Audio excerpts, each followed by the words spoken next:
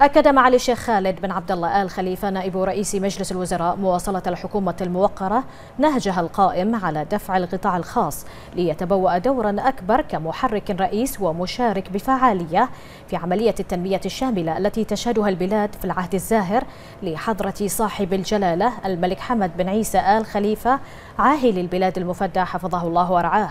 وذلك لخلق فرص نوعية للمواطنين في مجالات العمل والاستثمار. وقال معاليه لدى افتتاحه معرض التوظيف الشامل إن الدعم الذي يلقاه سوق العمل تعزيزا لدور المؤسسات الناشئة والصغيرة والمتوسطة. يتطلب الاستمرار في توفير فرص عمل للمواطنين وتهيئة الشباب لمتطلبات سوق العمل علاوة على الاستمرار في توفير البرامج الداعمة لضمان نمو بيئة الأعمال. وكان معالي الشيخ خالد بن عبد الله آل خليفة. قد تفضل بافتتاح معرض التوظيف الشامل الذي تنظمه وزارة العمل والتنمية الاجتماعية بمركز البحرين الدولي للمعارض على مدى يومين بحضور عدد من أصحاب السعادة الوزراء وأعضاء السلطة التشريعية والفعاليات الاقتصادية والتجارية وممثلي المنظمات الأهلية والنقابية. ويأتي هذا المعرض في إطار متابعة تنفيذ البرنامج الوطني للتوظيف الذي يتم من خلاله عرض فرص العمل المناسبة في منشآت القطاع الخاص للمواطنين. وبهذه المناسبة أكد معالي الشيخ خالد بن عبد الله دعم الحكومة الموقرة برئاسة صاحب السمو الملكي الأمير خليفة بن سلمان آل خليفة رئيس الوزراء الموقر حفظه الله ورعاه للسياسات والبرامج الرامية إلى توظيف المواطنين في القطاع الخاص وتوفير كافة الإمكانيات نحو تأهيل الموارد البشرية وإدماجها في سوق العمل. مثنيا معاليه في الوقت ذاته على استراتيجية مجلس التنمية الاقتصادية برئاسة صاحب السمو الملكي الأمير سلمان بن حمد آل خليفة ولي العهد نائب القائد الأعلى النائب الأول لرئيس مجلس الوزراء حفظه الله ورعاه الرامية إلى إيجاد بيئة عمل جاذبة للاستثمارات العالمية وتسويق البحرين كونها منطقة تستقطب الفرص والمشاريع الحديثة. وأشار معاليه إلى أن إطلاق المبادرات الهادفة لتسريع توظيف المواطنين الباحثين عن عمل بالتوازي مع توفير حزمة من الحوافز والمزايا للشركات والمؤسسات التي تستقطب العمالة الوطنية. ستسهم بشكل كبير في المحافظة على نسبة البطالة في معدلاتها الطبيعية.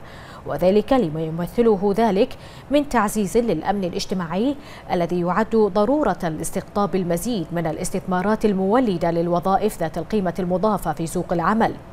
كما أشاد معالي نائب رئيس مجلس الوزراء بالتعاون القائم بين وزارة العمل والتنمية الاجتماعية والقطاع الخاص في مجال تنمية الكوادر الوطنية وتوظيفها مشيرا إلى أن المشاركة اللافتة من قبل منشآت القطاع الخاص يؤكد أهمية تضافر كافة الجهود الوطنية نحو دعم وتوظيف الشباب البحريني في كافة القطاعات الإنتاجية من جانبه أشاد سعادة السيد جميل بن محمد علي حميدان وزير العمل والتنمية الاجتماعية بتفضل معالي الشيخ خالد بن عبد الله آل خليفة نائب رئيس مجلس الوزراء برعاية وافتتاح المعرض مشيرا إلى أن ذلك يعكس حرص الحكومة الموقرة على دعم ومساندة مشاريع وزارة العمل والتنمية الاجتماعية في تنمية الموارد البشرية وتأهيلها وإدماجها في سوق العمل وجعلها الخيار الأفضل عند التوظيف لدى أصحاب العمل. أكثر من 500 جهة ومنشأة سارعت إلى حجز ركنها في معرض التوظيف الشامل لعرض ما لديها من شواغر وظيفية لكل باحث عن عمل. لا يخفى على أحد بأن أكثر من 500 منشأة من مختلف القطاعات تتنافس للحصول على الكفاءات البحرينية وجذب البحرينيين للعمل برواتب مجزية وبظروف عمل آه، مناسبة. اقتصادنا يبشر بالخير سواء في المرحلة الحالية إن شاء الله والمرحلة القادمة. الشيء المميز في هذا المعرض هالمرة أنه هو وجود شركات حكومية مشاركة فيه وهذا يعطي قوة وثقل وكذلك يعطي شفافية أكثر حق الباحثين عن العمل أنهم يكونون تحت معرض. تحت إشراف وزارة العمل ويكون توظيفهم عن طريق هذا الشيء. وكذلك هذا يعطي حق الشركات الأخرى اللي تكون موجودة أنه يكون عدد الباحثين عن عمل يكون أكبر فيحصلون على الكفاءات اللي هم يطمحون لها. إلى جانب ما تم طرحه من فرص عمل حقيقية من قبل الجهات العارضة لها تراك تجد ما يزيد على 12 معهد تدريب لها ثقلها لتجود بعمق الفائدة الآتية من وراء تواجدها عبر ما توفره من برامج تدريب احترافية تشد عضد الساعد البحريني وتؤهله لمزاولة أي عمل كان بقدرة واقتدار. أهمية التدريب هو أهمية جدا رئيسية للموظفين. هو تسهم في رفع جودة العمل وتطور من الموظفين وجودة العمل.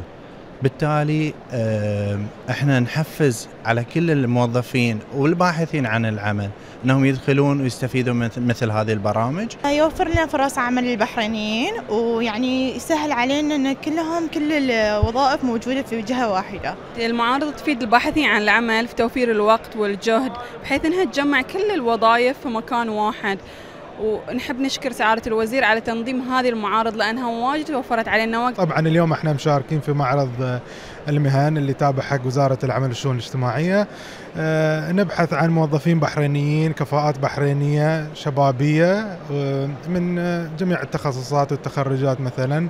عندنا ال BS سواء كان ولا ثانوية عامة وإن شاء الله نقدر نحصل على الموظفين اللي إحنا ندورهم ولا الطاقات اللي إحنا نطمح إليهم من البحرينيين فقط. طيب. كنت باحثة عن عمل والحمد لله الفضل يعود إلى هذا المعرض وجدت وظيفة HR manager في شركة Paragon Advertisement والصراحة الحضور جدا جدا قوي هم يحاولون يقدمون مجموعة من الوظائف يعني اللي تقدر تكون في يعني متناول الجميع إن الأغلبية يقدرون يقدمون إن شاء الله وإن شاء الله المواطنين البحرينيين كلهم يحصلون وظائف إن شاء الله بإذن الله. وصاير لكل الشركات في مكان واحد فسهلت لنا ننتقل من مكان لمكان ووفرت لكل الباحثين شرح مبسط حق الأشغال والمقابلات يعني تكون فورية نفس الوقت.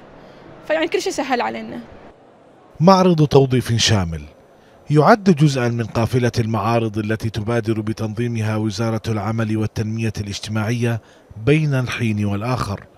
بهدف عرض الوظائف بشكل مباشر أمام الراغبين في اكتسابها من خلال تواصلهم مع أصحاب العمل الذين سيحفز هذا التجمع خاصية التنافس فيما بينهم لتحسين امتيازات الوظائف المقدمة من قبلهم.